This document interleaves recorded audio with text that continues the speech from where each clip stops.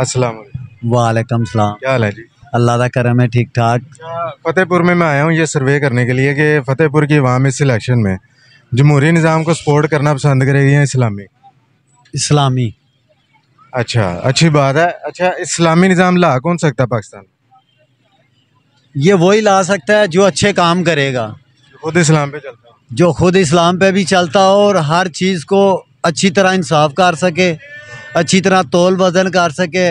जैसे अगला इंसान है वैसे ही अपने आप को समझ के उसकी जगह पे रख के देखे तो इन फिर सब कुछ ठीक हो जाए ऐसा है कोई पाकिस्तान? ऐसा है तो सही लेकिन कुछ लोग ऐसे हैं ना जो नहीं आने दे रहे। मसलन जैसे इस्लामी जमात वाले हो गए। ये हरी पगड़ी वाले?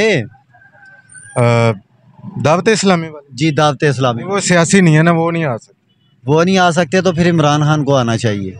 हाँ जी।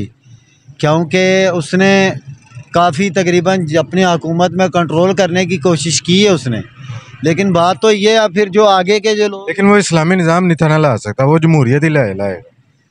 देखो आवाम को दोनों चीज़ों का फ़ायदा है ठीक है। अगर सलामी जमात वाले भी आएँ तो फिर भी ठीक है। अगर इमरान खान आए तो फिर भी ठीक है। क्योंकि ये गरीब का सोचते हैं। वो तो दीन भी सोचता है क्या ख्याल है? दीन तो सोचता है लेकिन इंसान को खुद भी तो कुछ सोचना चाहिए ना। जी हाँ खुलफा राशदीन ने गरीबों का सोचा था क्योंकि वो दीन था तब खिलाफत थी। तो ये जमहूरियत तो बस ऊपर वाले अपना सोचते हैं ना पेट भरा और चले गए।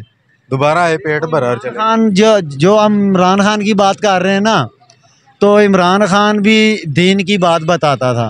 ठीक है लेकिन वो गरीबों के साथ भी तामन करता था, महँगाई को भी कंट्रोल करता था। तो आगे आने वाला जो वक्त था, उसको सही कर रहा था। लेकिन वो आने वाले वक्त से पहले ही चला गया। तो फिर क्या हो सकता है? वैसे बात यह है कि इमरान खान ने एक तो जवान लड़कियाँ, बेपर्दगी और नाच, डांस, गाना, ये सारा कुछ करके तो इस्लामी रियासत तो नहीं थी बन सकती। अमल आपने कहा कि उसके होने चाहिए इस्लाम के मुताबिक। इमरान खान के नहीं थे शुरू में। देखो इमरान खान जो है ना भाईजान है। इमरान खान के अलावा उसने कराम पे भी जुल्म किया। फिर इसके अलावा आसिया जिसने हजूर पाक सल्लल्लाहु अलैहि वसल्लम की शान में गुस्ताखी की उसको भी छोड़ दिया। और फ्रांस के मु- मुतल्लिक भी उसने आवाज़ नहीं निकाली। हमारे नबी के खिलाफ बात की है ना वो हमारा दोस्त ना हो सकता है और ना हमारा भाई हो सकता है। उसका हिमायती भी ना हम फिर जी? जो उसका हिमायती है उसको भी ना ना फिर अपना तो दोस्त। हमने बयान उसके देखे हैं या सुने हैं ना हम उन बयानों की बात कर रहे हैं जो हक पे हैं। जो अभी आपका पाकिस्तानी भाई होने के नाते कुछ आपको बता रहा हूँ उसके। अगर वो अगर आप देखें जैसे कि फ्रांस की हिमायत करना एक गुस्ताख औरत की हिमायत करना तो वो तो फिर गलत है। गलत बात है ये तो फिर गलत बात है ना।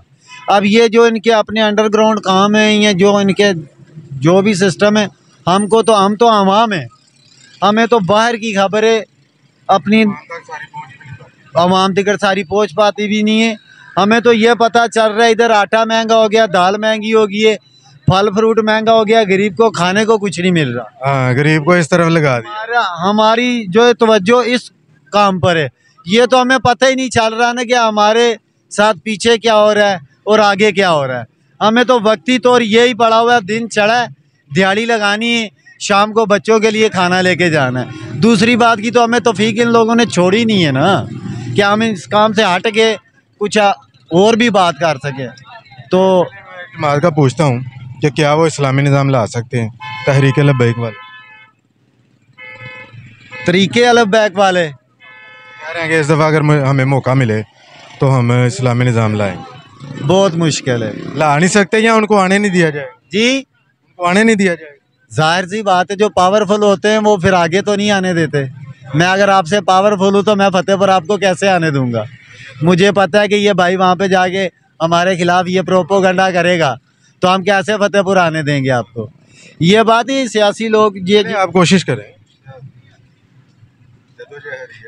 हिस्सा डालते जाएँ देखो भाईजान हम तो उसके साथ देंगे जो हम गरीबों का सोचेगा। अगर वो हमारा सोचे तो फिर इंशाल्लाह हम उनके साथ हैं। सोचेंगे। तो अगर ये सोचें तो हम उनके साथ हैं। जी। हमें भी यही नज़र आ रहा है कि सोचेंगे इंशाल्लाह। हमारे गरीबों के मतलब सोचेंगे ना तो फिर मैं नहीं हर शहरी। गरीबों ने गरीबों का सोचना होता है। जी हाँ बिल्कुल। देखिए अगर हमारा सोचेंगे ना गरीब आवाम का हमारे पूरे मुल्क में जो है गरीब लोग रहते हैं अगर इनके साथ कोई बंदा अच्छा बर्ताव कर, करेगा तो वो सारे उसके साथ ही होंगे। तो अगर टाइम पे अपना काम निकलवा के बाद में पूछताछ भी ना करें तो फिर तो गरीब का दिल ही टूटेगा ना, यहाँ बद दुआ ही निकलेगी ना। तो इन हमारी तो यही दुआ है कि हमारे पाकिस्तान में वो सदर चाहिए हमें, जो हमारे इस्लाम का भी मुहाफ़ हो और हम गरीबों का भी मुहाफ़ हो। हमारे हकूक़ भी जायज़ मुनासब पूरे करे। ये नहीं है कि भाई वक्ती तौर पे अपना काम निकलवाया तो बाद में बोला कि ठीक है, सही है। जाओ उधर मैं फ़ोन कर दूँगा काम हो जाएगा। क्या काम होगा भाई? ऐसे काम नहीं होते। ये काम जी मेहरबानी। अल्लाह खैर।